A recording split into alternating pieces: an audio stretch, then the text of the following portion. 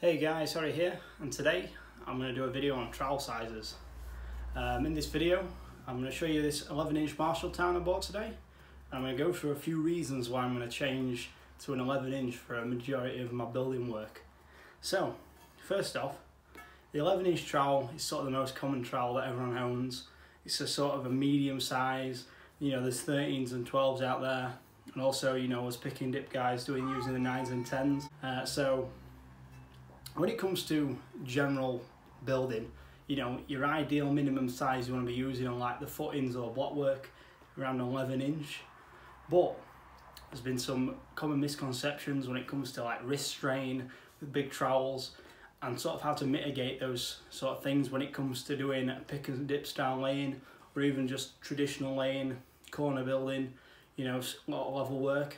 Um, I'm going to be in the next few weeks um, I'm going to be sort of devoting myself to more traditional style of laying, uh, but not in a sense of running in traditionally. I'm in a sense of building more corners in a traditional style, obviously by using a bigger trowel, because the whole point of using a bigger trowel for laying bricks is so you can pick up more mortar to lay onto the wall, and then you've got to, you know, have less trips to the board, and then keep your mortar from each brick that you press out for your next perp joint. That's the whole point of having a big trowel for using traditional method, which is really effective. If you get really good at doing the traditional method really fast, you can easily, you know, lay as many bricks as you can using pick and dip. But it takes a lot more perfecting. It takes uh, a lot more wrist movement, a lot more hand movement. But I'm going to go over some of the reasons why I'm going to start using um, the 11 inch trowel. First of all, in my recent videos reviewing the Magnusson level, I've been using more six foot levels, more corners, more freehand style of laying, uh, and I'm going to be incorporating more profiles into the freehand style. Um, I've got a new tool coming very soon that is going to really lend itself well to building corners, and this is the reason why I bought a bigger trowel. It's just to get more mortar spread onto the bricks. So a lot of the time you can pick up two bricks worth of mortar uh, with one trowelful at least easily. And then you can you if you really pile the gobble up you can get about three bricks out of an 11 inch. And then when it comes to like a 12 inch you can get you know four bricks out of one uh, you know blade full of mortar. And then when you come to a 13 you can almost get five or six depending on how you even your spread. And you know the the old saying when it goes to uh, bricklaying is you need to be able to spread for six bricks with one trowel mortar. And it's just it's a bit of a myth because you know you can't always do that. Um, but I've, I've seen it done with some of the big trowels. Really, you know, some of the spec mix guys use massive spades like this. This to me feels ginormous. Um, but I'm going to go over a few things that you can help to strengthen your arms, your forearms, and your grip strength. And some of the things I've been using ever since I started bricklaying almost 11 years ago when I was in college. So I'm going to go over it right now. These, what I'm about to show you now, are called grippers. And these are the Captains of Crush variant with uh, different levels of strength. And they have a uh, metal knurling. So they're not your plastic sports grippers when, that you get from shops. You find these on Amazon, on the uh, any sort of sports website to be honest. And I recommend if you're really having trouble with your wrists or your, your arms and you haven't got enough strength in your arms or your wrists to use the trowel size you want to use, uh, first of all, use a smaller trowel. And second of all, start training your grip. Your grip's going to be the massive limiting factor, especially a lot more girls and uh, a lot more girls getting into the trade. You know, it's no we're no longer in a time where it's just men who build houses. You know, women can be bricklayers, anyone can be a bricklayer. So I recommend if you're wanting to train your grip, your forearms, uh, and just have more strength in your hands in general is to get some grippers. So I'm going to go over a couple of uh, ex exercises I like to use. The main thing we're trying to build with you know the grippers is static grip strength. We're not trying to build crushing grip strength as such because the trowel's always going to be in his hands. We're not trying to squeeze the trowel, we're trying to keep hold of the trowel and have the strength in his hands in general. There's a few, you know, there's always a few movements you can do. Uh, I'm going to show a few right now, like I'm going to use one of the lighter grippers I've got and do like a, a full close from your hand being completely open. So hand open, grip. And we just grip like that. Just do sets of, you know, three to 10 reps, depending on how, how much strength you've got. And a lot of the time when you buy grippers, you can very easily buy a gripper that's too strong. So I do the full open and closes, so full open to relax.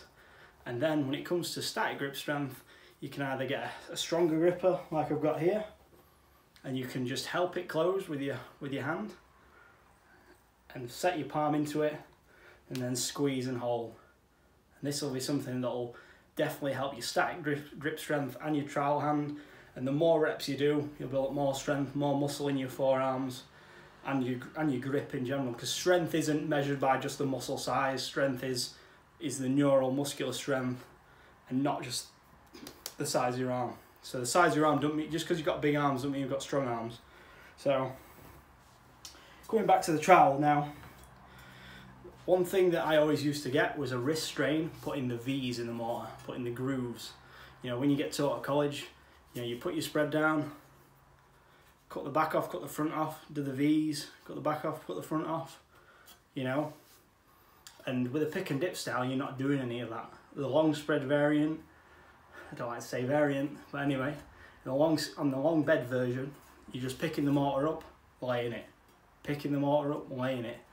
And with the big reason using the bigger trowels is you when you were doing traditional, you're trying to get as much mortar scooped onto that trowel as possible to lay your big long spread. Whereas with a pick and dip style, you just either tapping the mortar out of the out of the board or slicing a section off and laying it. So you're not you're not constantly filling the trowel to its maximum capacity. So this is another thing that I'm going to be working on is using half the blade. So when it comes to picking the mortar up, one brick's worth of mortar would only be half that blade e easily. So you could easily pick, just slightly groove in, pick your brick and mortar up, way, and you've still got an effective trowel for doing other bricklaying tasks. So you haven't got to constantly keep going to the board when you're building corners.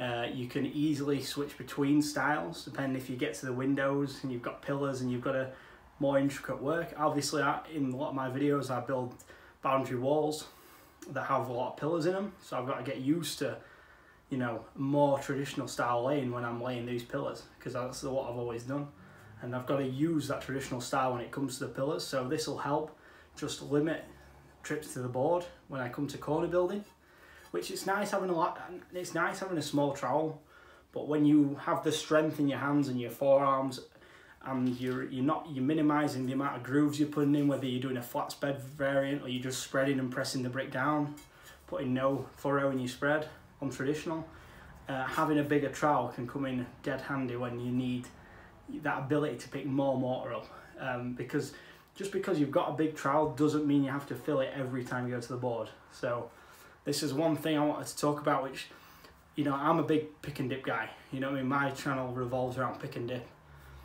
And, you know, I'm a big advocate. You know, I always do it. But you can still do it with a bigger trowel. And if you are a, a massive advocate of using a traditional style, you can get your, your trowel that you've always used traditional and just use it a different way. So that's my biggest, uh, this is the biggest upgrade that I'm going to make when it comes to the speed of the pick and dip and the versatility of general laying throughout the day because when you guys see me running into a line, it's only for like, you know, 15, 20 minutes of, you know, a clip. Me running into a line, the rest of the day it's me building corners, setting profiles up, intricate parts, you know, banding courses, pillars, you know, you know, whichever whichever style laying I'm doing, you know, I'm I'm I'm doing a traditional style, whichever sort of builds I'm doing, other than when I'm running in. So, when it comes to running in with a bigger trowel and using pick and dip, I recommend going and watching a guy called uh, Brickwork Fundamentals. He's about a channel uh, a bit bigger than mine. I think he's got 800 subs or so, and uh, he uses the 11 inch trowel for doing the pick and dip. He's got some pretty sick head cam footage. Him going, you know, laying for two, spreading for like one and a half to two bricks with minimal effort. So we're not doing this thing that we tend to do with the smaller trowels, is picking loads of mortar up and spreading it. Picking loads of mortar up and spreading it because a lot of time when you're using a 9 or 10 inch or an 8 inch, you're filling that trowel for every brick, you're filling it right up. So you, this is giving you more leeway. So you're not having to fill the trowel every time. You can just dip it in the mortar, boom, you've got a brick's worth. Or if you want to really get a bit of, get a nice chop, nice scoop, you know, you've got two bricks worth. You can pick and dip, do the two brick pick and dip, which I've made a video me doing. Um, I'm going to go into detail uh, more when I'm using this trowel. So this is the sort of content I'm trying to bring. Obviously, it's just me talking here with the tool, explaining some strategies and techniques which um, they apply to everyone. Do you know where? Whereas a certain build or a certain type of work, uh, you know, describing a strategy is only relevant for that certain build. So if you're building a garage and I'm telling you how to build it quicker, it's only relevant for that garage. Whereas these skills that I'm that I'm you know these techniques and these you know tips that I'm sharing with you now can be used if you're building footings, houses, you know pikes on a house, retaining walls, whatever, whatever you're doing, garden walls, uh, you, when it running gables in on a house, which whatever sort of brickwork you're doing, uh, the, these little these little changes in in the ways you build and the changes in the you know the methods and the working practices that you can just just very just slight there's slight variations of stuff you've already always done uh, you know that you've learnt at college and stuff like that but it's just a more efficient way to use you know your trowel space and the trowel you've got uh, other than you know small trowel for pick and dip big trowel for traditional big trowel for footing small trowel for this you know. You know there's there's there's an in between that can be done really quick. So i'm going to be working on trying to max out the speed of pick and dip using a bigger trowel. Uh, I, I believe some of the you know charlie collinson the biggest one of the biggest advocates on youtube of the pick and dip even said in passing in a in a odd few videos even saying that you could probably lay more bricks with a bigger trowel. And i'm telling you right now anyone out there if they've any bricklayer watching can you know if you're able to lay more bricks in a day even if that means using a bigger trowel than you want to do anyone's going to do it. You know i'd do it. So you know if you want to lay a you know might only be 50 might be 100 bricks extra a day you could lay by using a bigger blade. You know maybe it's worth it for a time. Maybe you know rotate it. Use the use the bigger blade for a couple of months go back to the smaller blade and then you know you know mix it up. But there's always a time and place to use a bigger trowel so this is what this video is going to be sort of emphasizing. So hope you guys enjoyed. I'm going to be doing a toolbox review after this, or toolbox uh, video showing all the tools I've got. I've left a few on site, so I haven't got all of them with me, but I give the tools a quick rub off with my uh, with my with my brush. So anyway, guys, thanks a lot for watching, and I will see you in the next video.